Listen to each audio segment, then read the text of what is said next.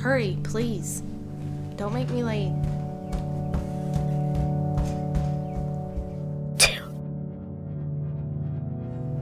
It's temporary.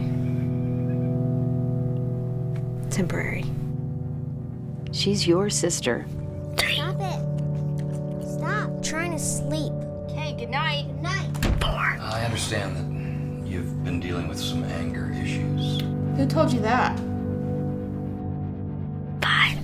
I don't want to confuse her.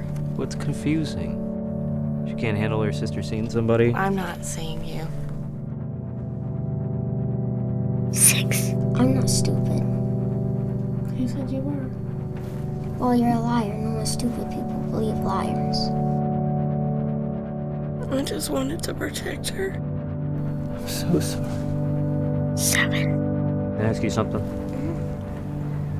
Is she mean to you or No. she, she doesn't yell at you? Does she do anything else? Listen, I have